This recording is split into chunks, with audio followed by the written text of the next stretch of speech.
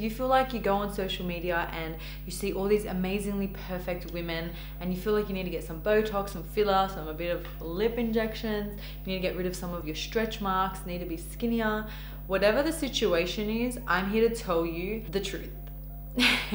I feel like this has all started from when we were young. Um, in my case, when I was in primary school, I was always kind of told to fit in and to, I guess, go with the girls and you know be like one of them. I was a, I was kind of a tomboy. I like to hang out with the boys more. And also, everyone had straight hair, and I was only, one of the only people that had curly hair, and I thought that was very weird. So I used to get my mum to iron my hair. Yes, she used to iron my hair it was crazy, but it is what it is, right? So I feel like when we're younger, we're always told to like fit into our peers, and if you're different, there's something wrong with you. And also, if you want to go further back, dolls, you know, Barbie dolls. I was obsessed with Barbie dolls. I still remember I had a Barbie doll that I would take everywhere with me. And she was absolutely beautiful. And she literally had a waistline as small as my neck, you know, beautiful big lips, these big sultry eyes, a small nose, flawless skin, straight hair. I don't think there was a doll with curly hair. Um, they'd all wear mini things, they'd all have perfect bodies. And I feel like when you're younger, you think that's the idealistic or that's how women are meant to look when in reality we all come in different shapes and sizes and we all look so different and we're all beautiful the way we are but society especially nowadays tells us differently if you look at all the people that a lot of women look up to kim kardashian tammy hembrow you know bella hadid is also another idolization for these young girls. And I've noticed that they all have this very similar look to them, right? They all have perfect bodies. They've all got these beautiful lifted eyes, you know, nice plump lips, tiny noses. Their facial structures are literally perfect. And I don't think this is a coincidence. I truly think they either all go to the same surgeon or they all kind of have, it's like a trend where you're you have to kind of look a certain way and then people like us think that that's the normal when really it's not. It's it's how it's how they want to look and that's totally fine. Nothing against all of that but it's just not realistic. You know we live in a world where social media now is i guess the thing that people look up to whereas before it was like magazines and tv shows and stuff like that and i think instagram now has taken a whole new toll on people's lives in a good and bad way. Bad way as these celebrities are trying to perfect themselves because if they don't, then they're scared that we're not going to idolize them because they're not perfect anymore. They're human and they don't want to look human. They want to look, I guess, like a doll. You know, I think that's the best way I can describe it because I don't understand how else normal people are meant to think that that's a normal way to look. I don't think it's realistic. You know, just remember they have the best access to everything. And even in saying that, like I didn't said in my previous video, they still have pores and texture and stretch marks and you know, they gain weight and they have saggier skin. And it's so normal that people that are looking at that that don't know that that's normal think there's something wrong with them and I just, i'm just here to tell you there's nothing wrong with you you're so perfect the way you are and your uniqueness brings something that no one else has. I did a bit of research as well and I wanted to suss out like who manufactured these dolls, who kind of came up with this stuff. And it was a rich, powerful man. And if you look at skincare skincare labels and the biggest beauty brands that are very high end, majority are big, powerful men. And it kind of goes back to are we still letting men dictate our lives or the beauty standard without really doing it?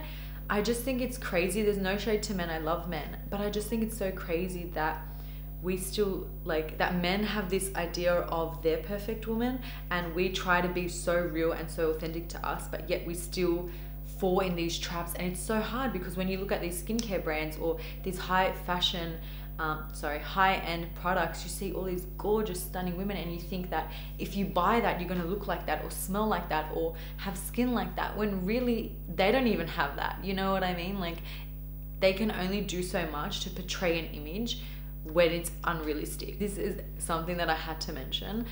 I don't know if you guys know about this, but it was a thing, and I have to mention it.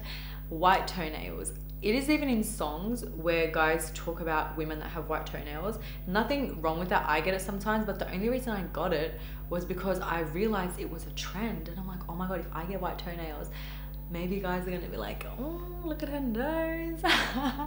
so it's just crazy when you actually start to think about it, how these little things that people put in our minds make us feel more beautiful when really you are so beautiful the way you are and they are too but they're just they're chasing an image that is not portrayable. With photoshop and um, i guess a lot of makeup and good lighting everything can look so much better but in reality it's so different. Like the craziest thing that i heard was when i went to my surgeon to ask him for some tips on my face just because i was also a bit insecure at a stage.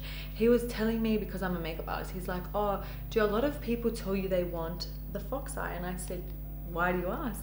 He's like well girls that are 16 plus 16 years old, I cannot even believe that, are coming to him and saying they want to get the surgery to have a fox lift. Now, I have tape that I do for my editorial looks because I think it's a bit more chic and it's just fun, you know. But to do that permanently is something I probably wouldn't do or recommend. This actual fox eye trend is actually for older women who have saggier eyelids or saggy skin around there so they can lift it so they can have a more, I guess, lifted face without having a fox eye. They just look more like I guess, not saggy. But now young girls that are 16 years old are getting actual surgery to cut off oh my god to cut off skin and to tighten it like that is so baffling to me and it's actually sad that we're trying to look like a fox or whatever the hell that trend is i think it's kind of crazy. Like we can do that with lashes. We can have a wing and it makes your eyes look a bit different. Like you don't need to actually go surgery. But again, people like Bella Hadid and other these uh, beautiful supermodels have had that done, or we think, right? So we think, oh my God, that's the new trend. We got to do that.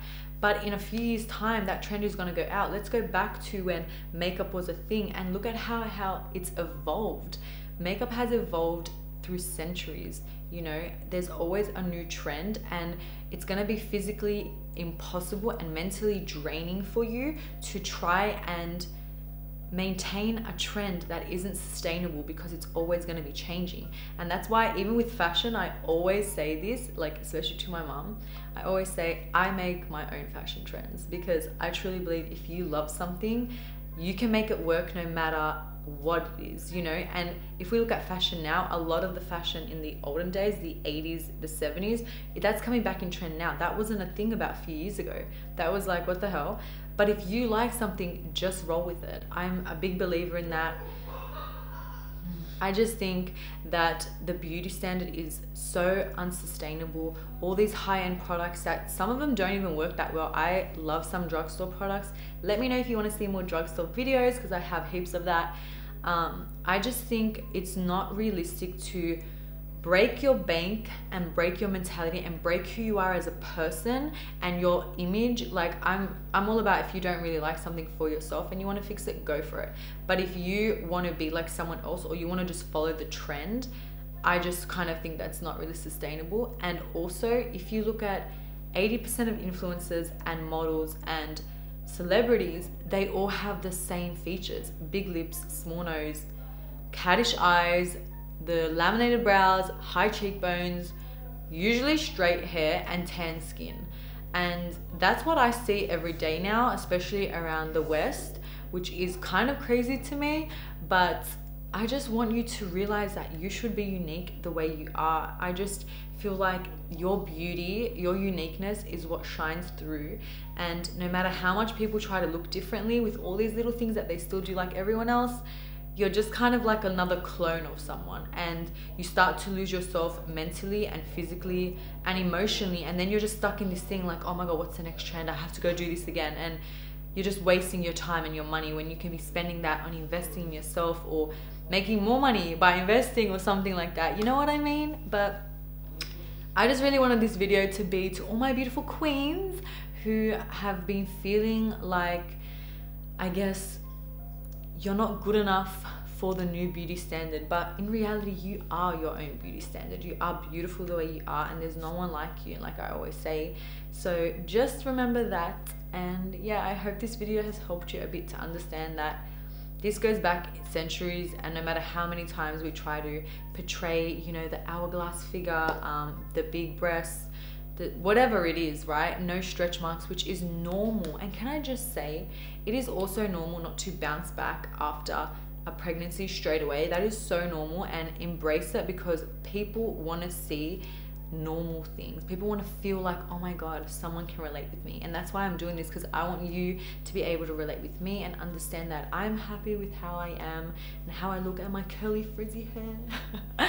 so I want you to be happy with yourself too. And I understand that we all have a little insecurities, but the more we embrace that and the more we realize that that's who we are and that's what makes us who we are. I feel like you just radiate a different energy and you bring something different to the table and something more unique. You know what I mean? So I love you all so much. Thank you all so much for watching. Make sure to hit that like button and that subscribe button if you like this video. And I will see you in my next video. Bye.